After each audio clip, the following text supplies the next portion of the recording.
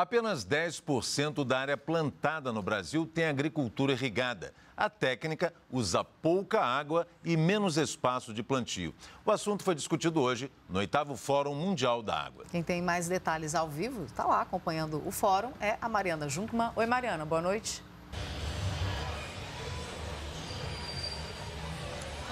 Boa noite, Catiúcia, Pedro. Pois é, esse número foi apresentado pelo ministro Blairo Maggi da Agricultura, que participou hoje de um painel aqui no Fórum Mundial da Água e no qual ele relatou que 90% da agricultura brasileira é não irrigada, ou seja, utiliza apenas o ciclo natural de chuvas. Mas a Agência das Nações Unidas para a Agricultura, a FAO, divulgou um estudo também aqui no fórum hoje, no qual estimula o uso da irrigação na agricultura, porque isso aumenta a produtividade em relação à área plantada, reduzindo ali o que a gente chama de fronteira agrícola. Você vai saber mais sobre isso no VT agora, na reportagem de Soane Guerreiro.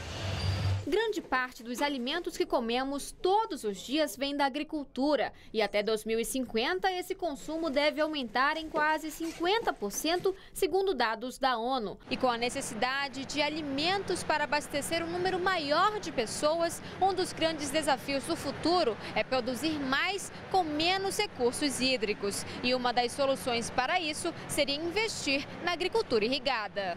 A técnica utiliza uma fonte de água na produção, como um reservatório, rio ou lençol freático. Já a agricultura não irrigada é aquela que depende totalmente da chuva. Com a irrigada, como você pode produzir duas vezes ou mais por ano, então você pode produzir no espaço menor a mesma quantidade de alimento que você produziria num espaço maior por uma atividade não irrigada. Hoje existem 70 milhões de hectares plantados no Brasil. Apenas 10% usam agricultura irrigada. Se você faz um processo de intensificação mudando de não irrigada para irrigada, ou de irrigada com baixas tecnologias, com irrigada de alta tecnologia, você vai conseguir produzir muito mais alimento e vai poder conseguir chegar em 2050 com a produção que é necessária para manter 9 bilhões de pessoas no planeta, sem tocar na Amazônia. O levantamento da FAO lançado hoje mostra áreas com potencial para serem irrigadas no país, regiões como o semiárido nordestino e o cerrado.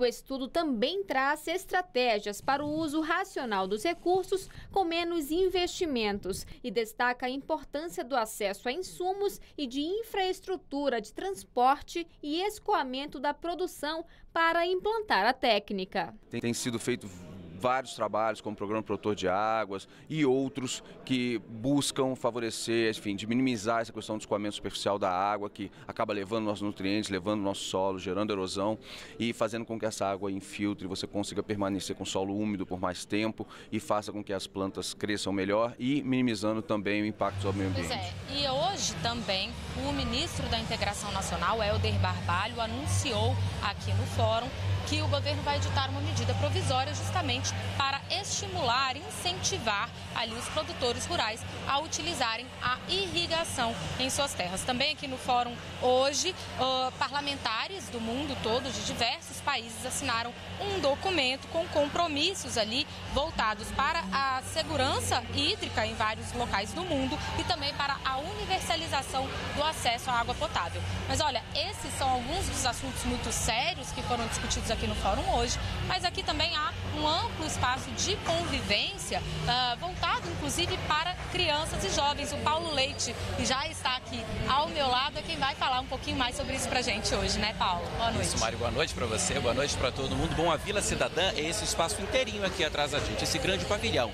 Tem jogos, tem cinema, tem muita parte interativa para crianças, jovens, adultos e idosos também. Outra grande diferença é que essa parte é a parte gratuita, de graça do fórum. Ontem a gente fez aqui os links da parte paga do lá das exposições. Essa é a parte de graça aqui do fórum. Agora, voltando a falar de coisas, de assuntos mais sérios, os, as iniciativas que foram premiadas no ano passado, em dezembro do ano passado, foram reapresentadas aqui.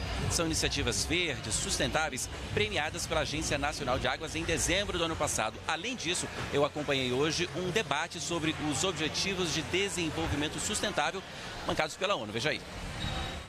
A ONU elegeu 17 objetivos que aliam desenvolvimento e sustentabilidade três anos atrás. Acabar com a pobreza e com a fome são dois deles. Proteger o meio ambiente e combater mudanças climáticas são outros. O tempo de promover essas alterações já está correndo. O prazo termina em 2030 e a ONU aproveitou o fórum para lembrar o mundo que os objetivos foram discutidos e aprovados em Assembleia Geral. É compromisso, portanto. Um dos objetivos fala especificamente sobre água, assegurar a disponibilidade e gestão sustentável de água e saneamento para todo mundo. Esse foi um dos assuntos do fórum hoje. Oito especialistas de diferentes países discutiram a gestão da água. Todos admitiram, esse é um dos grandes desafios do planeta. Um deles alertou, em vez de diminuir, a escassez de água está aumentando. E outro concluiu, é preciso integrar governos e empresas e fazer com que os países trabalhem juntos.